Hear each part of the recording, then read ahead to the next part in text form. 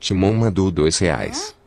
Luan, na moral, é a coisa mais séria que vou te falar. Fui pesquisei o rentar dessa merda e me assustei. É logo o filho e o pai comendo essa véia vagabunda, e dando tapa nela. Botaram ela de quatro e arrombaram ela. Caralho, Timon, deixa de ser doente, cara, pelo amor de Deus.